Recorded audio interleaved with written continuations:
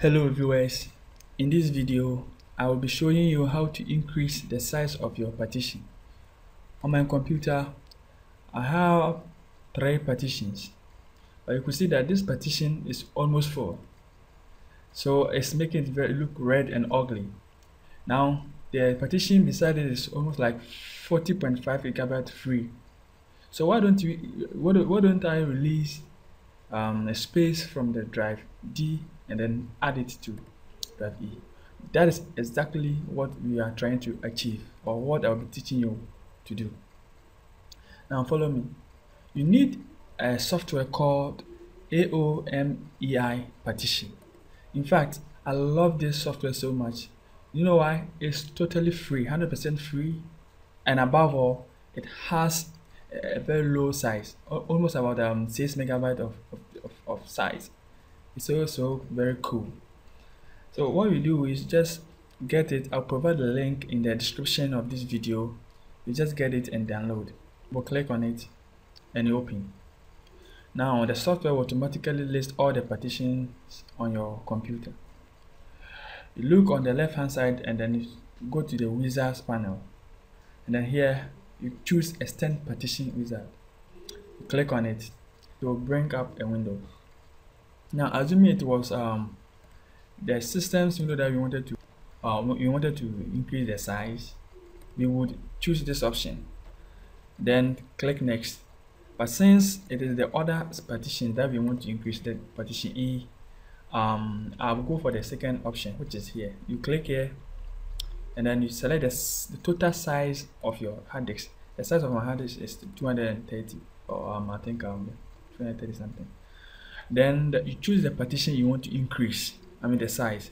Or in this case I'm going to choose partition E okay? Partition E because this is what I'm going to increase the size. Then after that you, click next.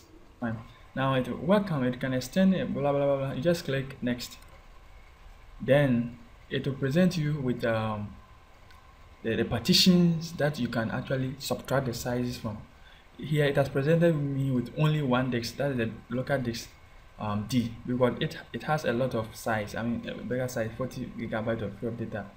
Um, so what we are going to do is to just tick.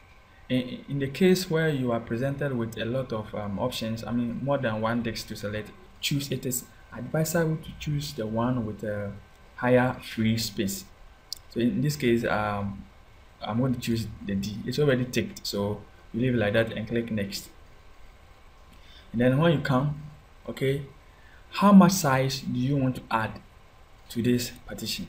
How much size? Uh, let me check. I think I would love to add um, 20 to this size. 20 okay. So that it will be even. All right so now the already existing size is what? Um, let me see. The already existing size of the mine this is 78 so when I add 20 to the 78 it will give me 100 and what? No no 90 98 sorry. 98 okay? So you calculate the size you want to add and then that you add it to the the number here which will be 98 okay? You have to make sure that you don't take um, larger size from this place and then add it to this place. You have to make it even okay? Or maybe not more than the free space.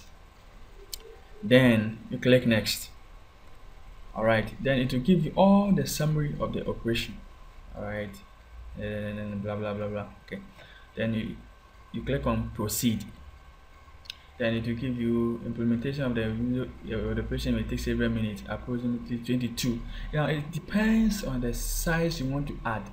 So if you're moving lesser space you, you expect a lesser time. If you're if, if you're, if you're moving if you're moving um, a bigger space um, you expect a bigger time so um, I'll click yes. And then it will start. Okay so you see the summary.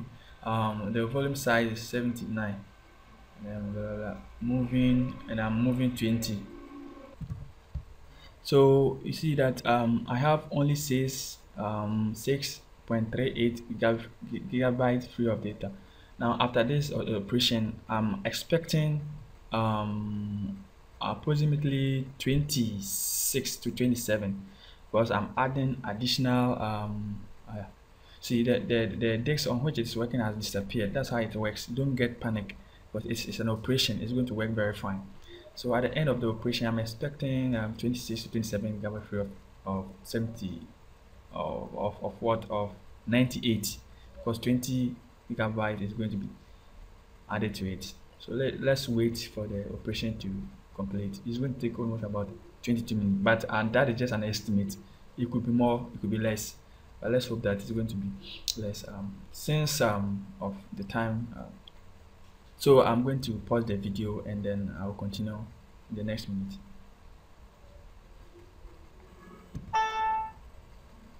So now I think um, the thing has completed successfully all of, of all of operations have been completed successfully okay. So then let's click finish. Then let's cancel. Uh software. Okay and go. What? It is still red oh don't get panic. Just close it. Okay and then open your computer.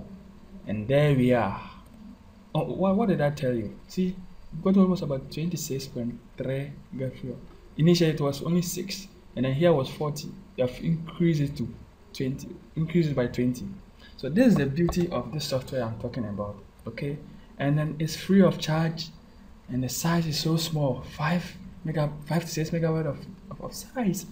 It's so so interesting okay? So get the software and try playing around it. In my next video i will teach you how to use um this copy this in fact i'll be teaching a lot of things about this software but i love it so much. Thanks for watching and then subscribe to this channel for more videos. Bye